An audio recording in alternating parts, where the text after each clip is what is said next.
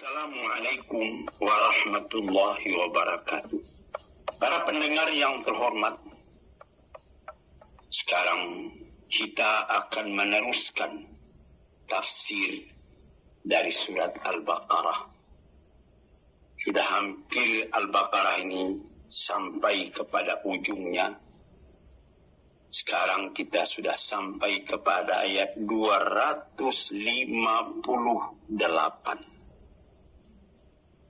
daripada surat Al-Baqarah. Di dalam juzuk tilkar rusul, juzuk yang ketiga.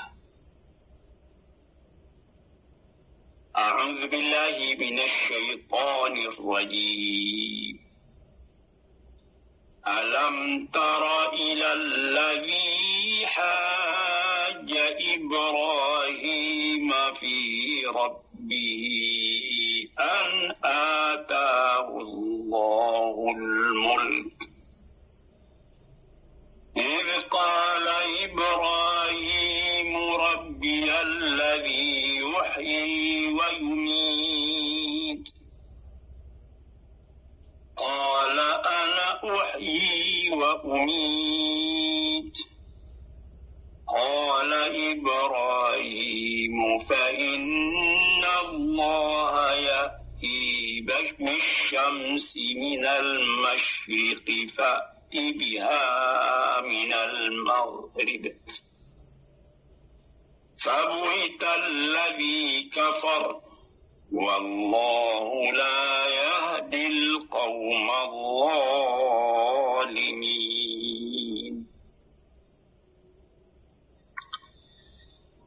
Adakah tidak kau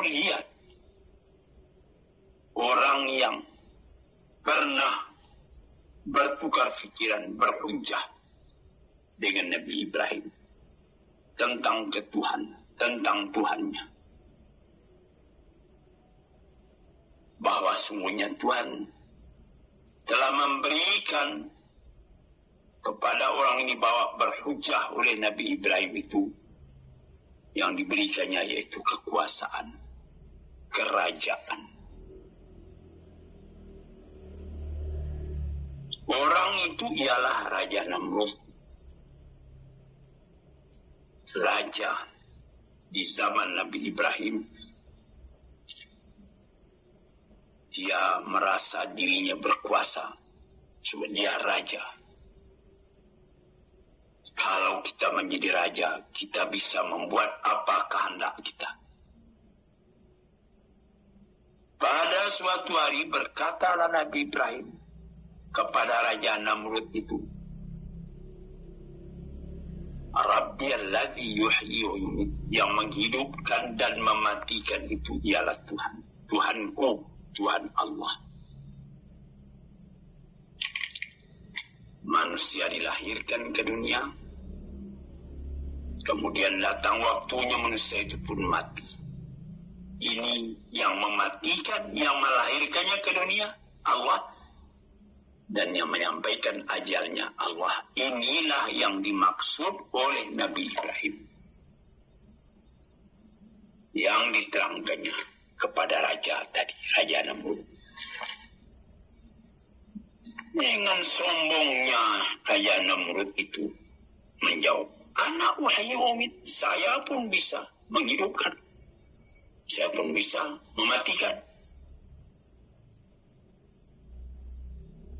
Di istana saya, saya piara budak-budak. Saya kawinkan dia. Budak laki-laki dengan budak perempuan. Lama-lama budak perempuan itu bunting. Jadi, saya yang menghidupkan. Karena saya memberi makan ke orang-orang. Kemudian lahir anaknya itu. Itu namanya aku yang menghidupkan. Coba lihat kan Menurut tafsir dikatakannya. Banyaklah pemuda-pemuda. Anak budak-budak. Laki-laki, budak laki-laki, budak perempuan. Dikawin oleh Nabi Ibrahim beranak-beranak. Nah, ini anak-anak semua. Saya yang mengasih hidup, saya mengasih makan. Dan saya pun berkuasa pula buat membunuhnya.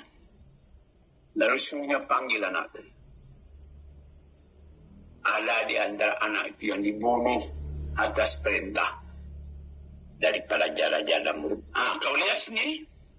Kau bilangkan Allah itu yang menghidupkan dan mematikan. Aku pun menghidupkan. Hati aku pun mematikan. Berapa banyak ini budak-budak saya kawinkan. Beranak. Mati. Ada yang saya sendiri suruh bunuh Mati. Tidak ada yang akan bantah sebab saya raja.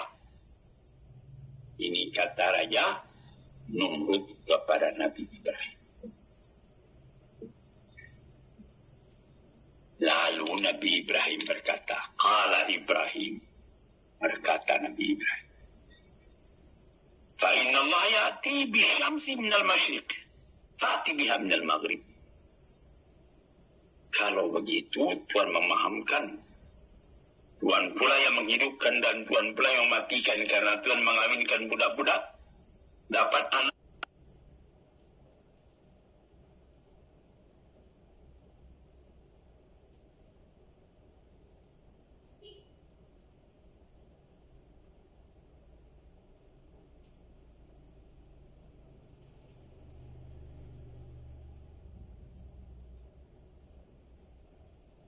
nanti bisa Tuhan bunuh, tidak ada orang yang kau bantah sebab Tuhan yang kuasa. Sekarang Tuhan lihat, Allah menerbitkan matahari dari sebelah timur. Coba kalau Tuhan berkuasa, terbitkan matahari itu dari sebelah barat. Fabuhitalladhi kafar.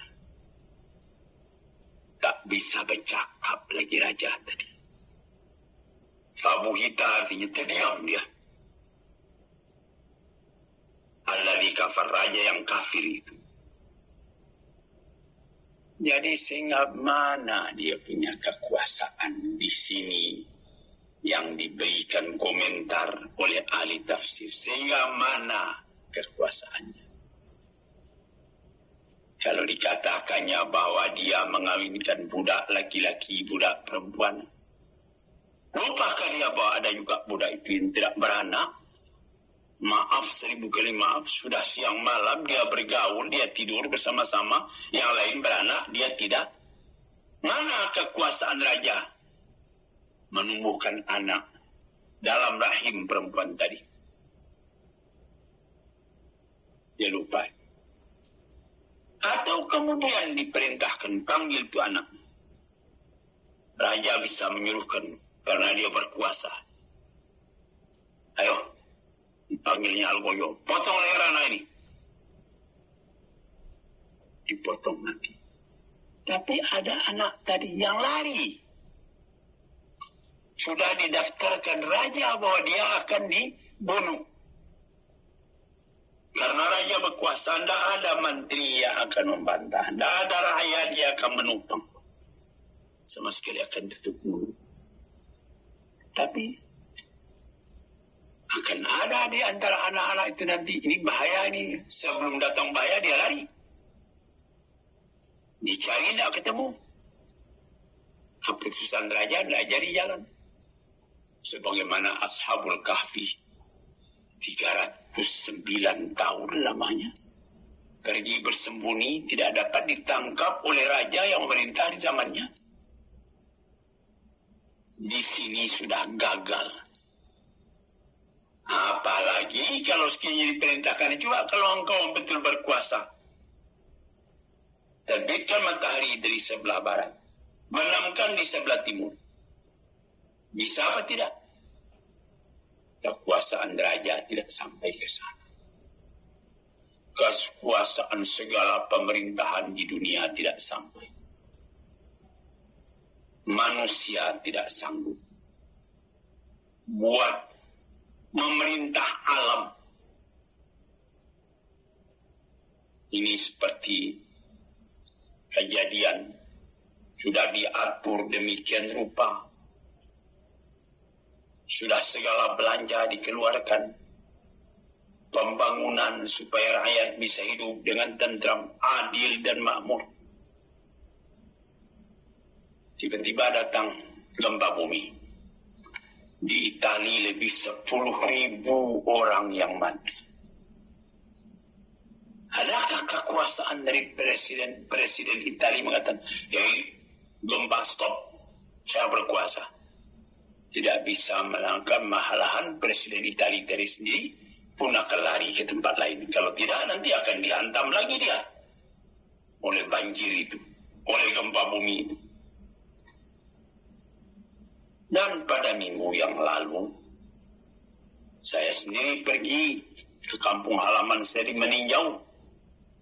Karena terjadi ampuh atau galodo. Runtuh bukit karena lembatnya hujan tergenang air di runtuhnya bukit. Setelah runtuh bukit yang air turun ke bawah itu menjadi galodo. Ditimbunnya kampung. Sehingga ada satu rumah yang berdiri di pinggir danau di dekat sungai Tumayo digulung oleh air masuk rumah itu ke dalam danau. Demikian dalamnya danau tadi sehingga tidak kelihatan lagi di mana rumah itu. Sesudah air jernih tidak kelihatan lagi. Demikian dalamnya. Kekuasaan mana yang bisa menghambat itu Manusia bisa berikhtiar. Menyesuaikan dirinya dengan alam. Bagaimana supaya terjadi gempa, jangan terjadi apa itu namanya bahaya karena gempa bumi. Mungkin bisa, tapi gempa itu sendiri tidak dapat dialami. Atau seperti musim panas dan musim dingin di tanah Arab dinginnya Allah Rabbi. Pecah tulang karena dingin. Panasnya Allah Allah. Sehingga sudah cuma tinggal ke celana kotok saja celana kolor yang kita pakai masih panas. Karena anginnya angin samum namanya. Angin itu sendiri panas. Tidak ada manusia yang dapat. Ya ada diadakan AC air condition di rumah. Keluar dari rumah panas lagi. Nah, di sinilah perkataan Nabi Ibrahim. Kerajaan Namrud.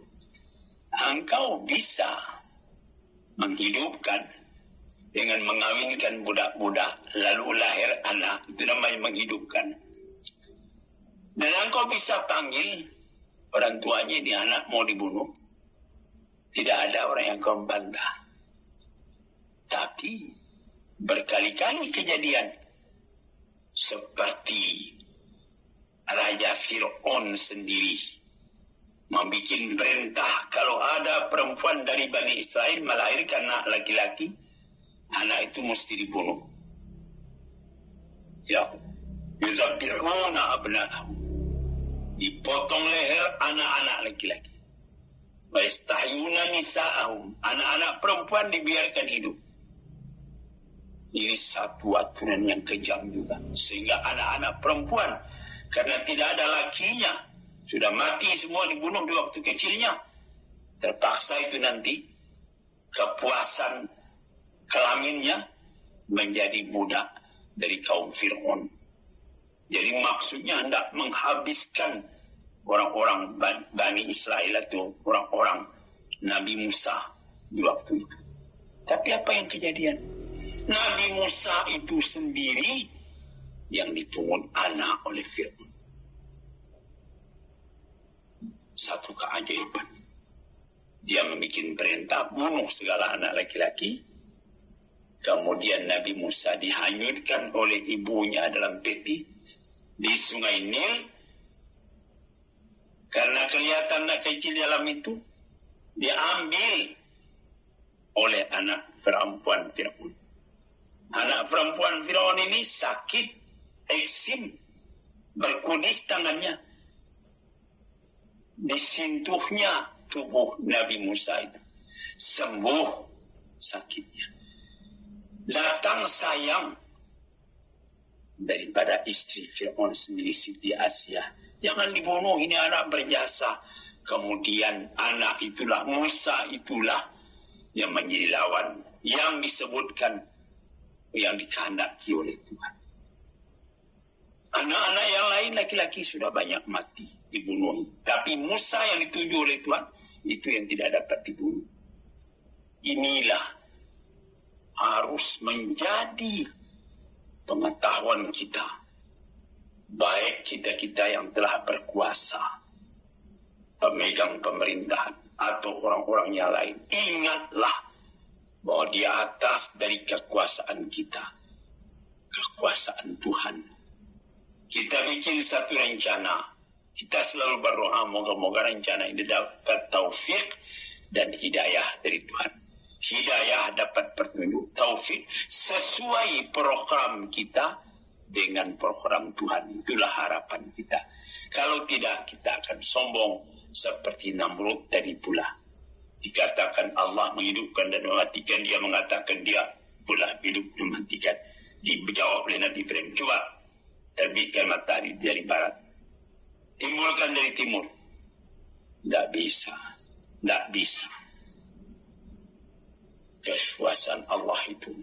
Inna Allah ala kulli syai'in qadir. Segala sesuatu ini ada kodrat dan iradat dari Allah Ta'ala sendiri. Kerap kali manusia membuat rencana di tengah jalan dia jadi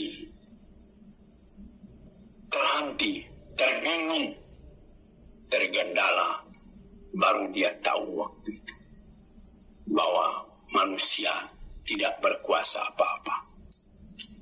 Kalau sekiranya Allah Ta'ala tidak meridhakan, tidak jadi.